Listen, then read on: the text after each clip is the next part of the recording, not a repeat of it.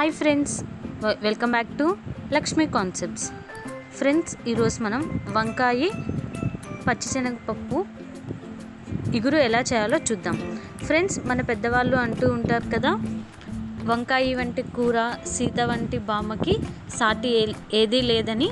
ఈరోజు మనం అలాంటి వంకాయతో ఇగురు ఎలా చేయాలో చూద్దాం. ఇది చాలా టేస్టీగా ఉంటుంది ఫ్రెండ్స్ అలాగే చాలా త్వరగా అయిపోతుంది. ఈరోజు వీడియోలోకి వెళ్ళే ముందు నాది ఒక చిన్న విన్నపం. ఎవరైనా మన ఛానల్ని కొత్తగా చూస్తుంటే వెంటనే సబ్స్క్రైబ్ చేసుకోండి. అలాగే పక్కనే ఉన్న బెల్ ఐకాన్ని క్లిక్ చేయండి. దాని ద్వారా నేను పెట్టే వీడియో నోటిఫికేషన్లు ముందుగా మీరే చూడవచ్చు. ఒక్కసారి ఈ కూర మీ ఇంట్లో ట్రై చేసి చూడండి. మళ్ళీ మళ్ళీ చేసుకొని తింటారు. దీనికోసం ముందుగా స్టవ్ మీద ఒక గిన్నె పెట్టుకొని అందులో ఆయిల్ వేసి బాగా హీట్ అయిన తర్వాత ఇలా కొంచెం ఆవాలు వేసుకోవాలి. ఆవాలు కూడా వేగిన తర్వాత కొంచెం జీలకర్ర వేసుకొని వేయించుకోవాలి. ఇప్పుడు కట్ చేసి పెట్టుకున్న ఆనియన్స్ టమోటా వేసి ఒక టూ మినిట్స్ ఫ్రై చేసిన తర్వాత ఇలా కరివేపాకు కూడా వేసుకొని బాగా ఫ్రై చేసుకోవాలి. టమాటో ఆనియన్స్ అంతా బాగా ఫ్రై అయ్యేంత వరకు ఫ్రై చేసుకోవాలి.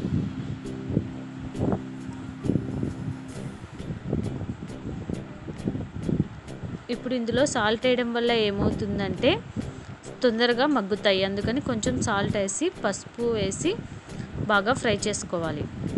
ఇప్పుడు ఇందులో కొంచెం కారం వేసుకొని కారం పచ్చివాసన పోయేంత వరకు ఫ్రై చేసుకోవాలి. అలాగే కొంచెం అల్లం వెల్లుల్లి పేస్ట్ వేసుకొని అల్లం వెల్లుల్లి పేస్ట్ కూడా ఫ్రై అయ్యేంత వరకు ఫ్రై చేసుకోవాలి. ఇప్పుడు ఇందులో మనం ముందుగా ఒక అరగంట సేపు నానబెట్టుకున్న పచ్చిశనగపప్పు వేసి బాగా ఫ్రై చేసుకోవాలి.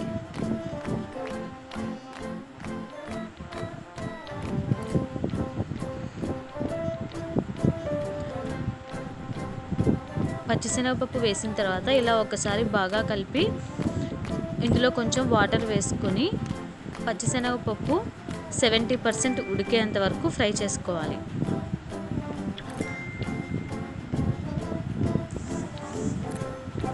ఇప్పుడు ఇందులో వంకాయ కట్ చేసి పెట్టుకున్న వంకాయలు వేసుకొని ఒకసారి బాగా కలుపుకోవాలి.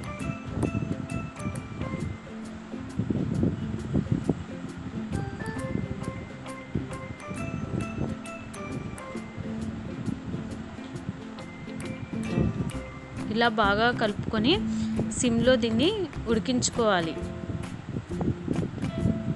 ఇలా మూత పెట్టి ఉడికించుకోవడం వల్ల ఏమవుతుందంటే త్వరగా ఉడుకుతుంది. చూసారు కదా ఫ్రెండ్స్? ఇలా బాగా చిక్కబడేదాని వరకు ఉంచుకోవాలి. ఇప్పుడు ఇందులో కొంచెం ధనియాల పొడి యాడ్ చేసి ఒక ఫైవ్ మినిట్స్ సిమ్లో అలాగే ఉంచి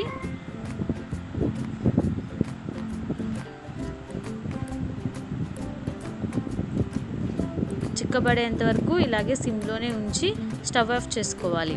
ఈ కూరని సంగట్లో కానీ అన్నంలో కానీ చపాతీలో కానీ దేంట్లోకైనా చాలా చాలా బాగుంటుంది ఫ్రెండ్స్. ఖచ్చితంగా మీరు ఒక్కసారైనా మీ ఇంట్లో ట్రై చేసి ఎలా కుదిరిందో నాకు కామెంట్స్ రూపంలో తెలియచేయండి. ఈ వీడియో కనుక మీకు నచ్చినట్లయితే లైక్ చేయండి షేర్ చేయండి సబ్స్క్రైబ్ చేయండి. ఇలాంటి మరిన్ని ఎన్నో కొత్త నెల్లూరు స్టైల్ వంటలు చూడటానికి వెంటనే మన ఛానల్ని సబ్స్క్రైబ్ చేయండి.